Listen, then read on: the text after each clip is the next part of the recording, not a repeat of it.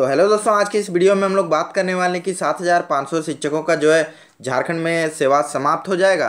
तो उसी से रिलेटेड हम आपको पूरी जानकारी देंगे। अगर आप इस चैनल पर नए हैं चैनल को सब्सक्राइब करके बेल आइकन को प्रेस कर लीजिए ताकि आने वाले इसी तरह की वीडियो आपको हर रोज़ मिला करेगी। तो चलिए शुरू करते हैं। तो ये है प्रभात खबर का सात नवंबर का पेपर जिसमें सात हज़ार पाँच सौ शिक्षकों की सेवा होगी समाप्त।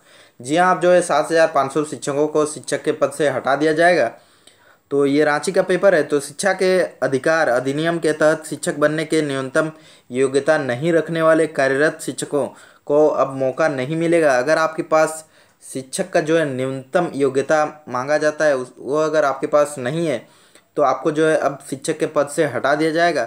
तो यहाँ पे जो है केंद्रीय मंत्री, केंद्रीय मानव संसाधन विकास विभाग की तरफ़ से जो राज्य के शिक्षा सचिवों को पत्र लिखकर यह सूचना दे दी गई है कि अगर किसी शिक्षक के पास अगर न्यूनतम योग्यता नहीं है तो उसको जो है शिक्षक के पद से हटा दिया जाएगा। तो यहाँ पे बात आती है कि पहले वर्ष 2017 में समय दिया गया था, यानी कि पहले जो है 2017 तक समय दिया गया था, लेकिन इसके बाद जो है समय को बढ़ाकर 31 मार्च 2019 कर दिया गया है, ताकि आप सभी को मौका मिले। अगर आप शिक्षक हैं और आपके पास न्यूनतम योग्यता नहीं है तो आपको मौका दिया गया था।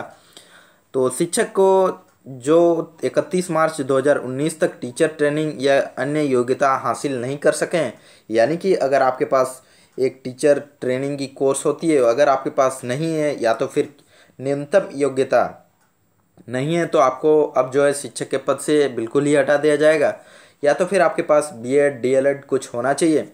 तो अब जो है वो शिक्षक नहीं पढ़ा सकेंगे, यानी कि अगर आपके पास योग्यता नहीं है तो आपको जो है यहाँ पे पढ़ाने का मौका नहीं मिलेगा तो बात आती है आदेश में झारखंड के सरकारी और निजी स्कूलों में जो है सात हज़ार पाँच सौ शिक्षकों की जो है अब सेवा समाप्त हो जाएगी, क्योंकि यहाँ पे जो है सात हज़ार पाँच सौ ऐसे शिक्षक हैं जिनके पास जो है न्यूनतम योग्यता नहीं है। तो बात आती है कि सेवा समाप्त हो जाएगी।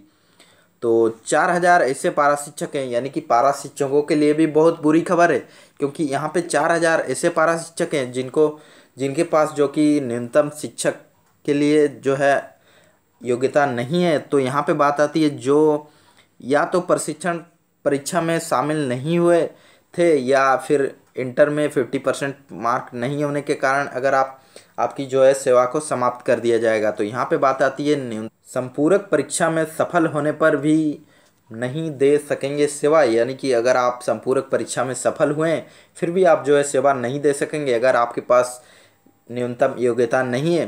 तो सबसे पहले तो 2017 तक आपको समय दिया गया था, लेकिन फिर उसको एक्सटेंड करते हुए 31 मार्च 2019 तक समय बढ़ा दिया गया था। अगर आप न्यूनतम योग्यता को ले चुके हैं तो आपके लिए बहुत अच्छी खबर है, और नहीं लिए हैं तो आप सभी के लिए जो है बहुत बुरी खबर है। तो आज के इस वीडियो में इतना ही। अगर आपको वीडियो अच्छा लगे तो लाइक कर दीजिए, अपने दोस्तों के साथ भी शेयर कर दीजिए। और अगर आप चैनल पर नए हैं तो चैनल को सब्सक्राइब करके बेल आइकन को प्रेस कर लीजिए, ताकि आने वाले इसी तरह की वीडियो आपको हर रोज़ मिला करे तो धन्यवाद दोस्तों, जय हिंद, जय भारत।